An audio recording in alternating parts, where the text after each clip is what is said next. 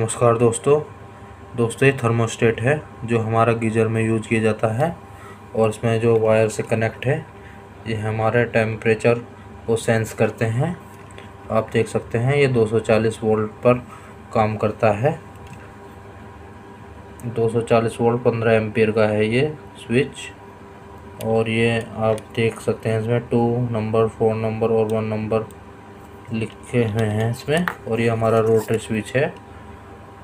और ये अपना सप्लाई के लिए पॉइंट लगे हुए हैं। वीडियो को सब्सक्राइब करें ज़्यादा से ज़्यादा और चैनल को भी सब्सक्राइब करें।